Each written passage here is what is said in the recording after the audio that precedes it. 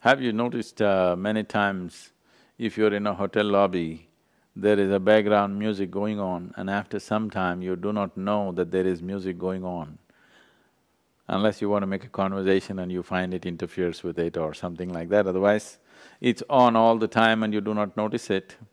Being in America, some machine is buzzing all the time in your house, but you do not know that it's buzzing. Only when you enter the house, you will know it. After some time, you do not know it.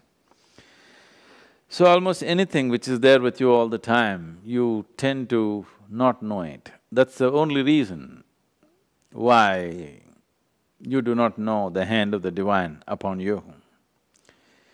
Because it's always on. If it was off and on, if you do not even know that your breath is on, if it goes off for a minute, for sure you know So because it's not at all off, that's the reason why you do not know.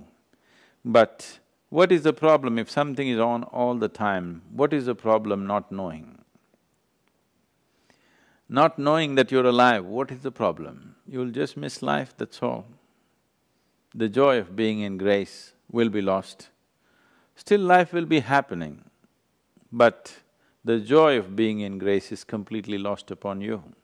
So it is not something that's on and off. It is not something that every weekend you question whether it is on or off. It's just on. You just have to, you know, become conscious of it so that you know the joy of being in grace. I have said this in many ways, but people, I'm sure most of you have chosen to ignore it.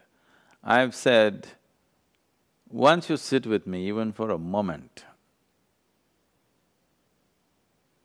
then there is no such thing as privacy in your life.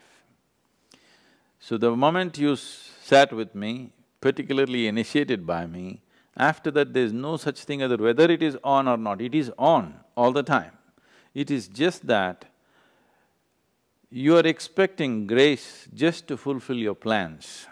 Most… most people are only expecting grace to fulfill their plans because this is an old habit of going to the temple, church or mosque and telling God what he must do.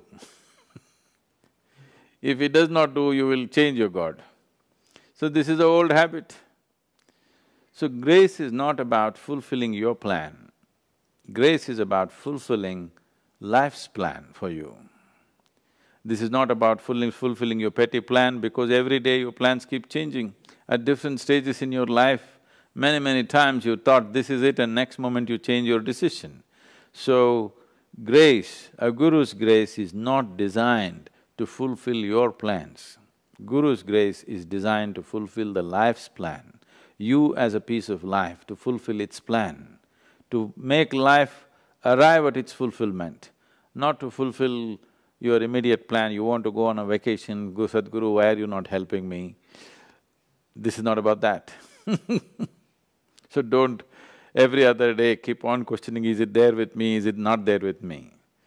I won't be wasting my life with you if I could not sustain the support and make it happen.